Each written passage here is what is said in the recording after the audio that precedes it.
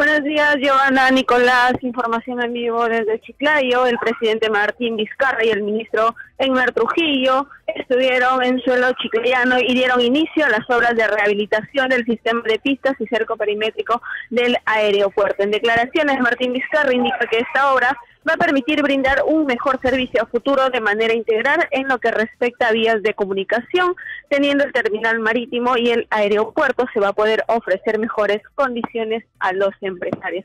Esta obra está proyectada para que pueda durar 18 meses con una inversión de 43 millones de dólares. Eh, de igual manera, pues se pronunció el ministro de Transporte y Comunicaciones acerca del paro nacional de transportistas de carga pesada. Vamos con las declaraciones del, del ministro.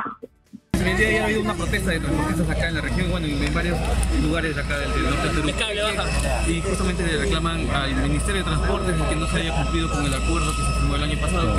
Los, acuerdos los venimos cumpliendo. Uno de los principales acuerdos que tuvimos con los transportistas fue la aprobación de la devolución del impuesto selectivo al consumo. Dicen ellos que nosotros, nosotros hemos cumplido lo que nos corresponde y eso hemos sido muy claro con ellos. A nosotros nos correspondía aprobar el proyecto de ley y presentar al Congreso para su aprobación el Congreso que tiene que aprobar finalmente.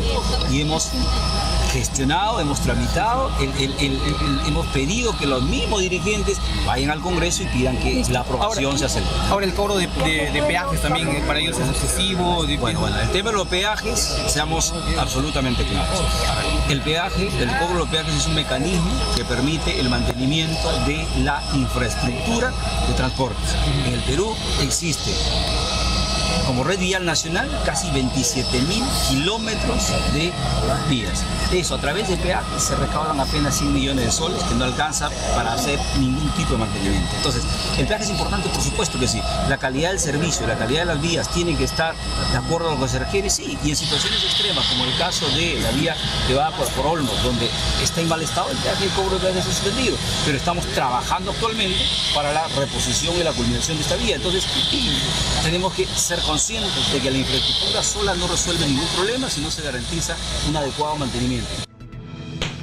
Bien, esas fueron las declaraciones del ministro Eder Trujillo de Transporte y Comunicaciones acerca del paro nacional indefinido de transportistas. Nicolás, eh, vamos a continuar ampliando esta información ya que para el día de hoy se radicaliza lo que sería este paro en nuestra ciudad de Chiclayo. Muchas gracias y, precisamente